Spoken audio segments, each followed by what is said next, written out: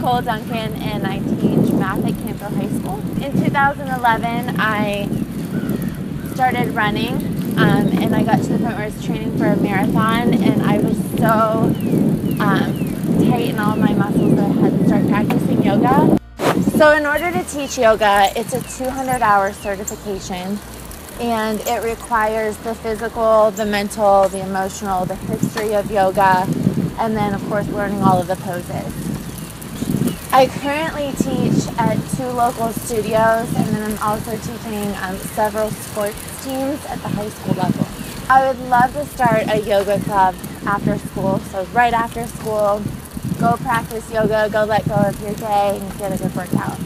It's important for everybody to experience the benefits of yoga because physically it's a great workout, but mentally it lets you clear your mind and just create space, you know, where we're always so connected to everything. It's an opportunity to just let go.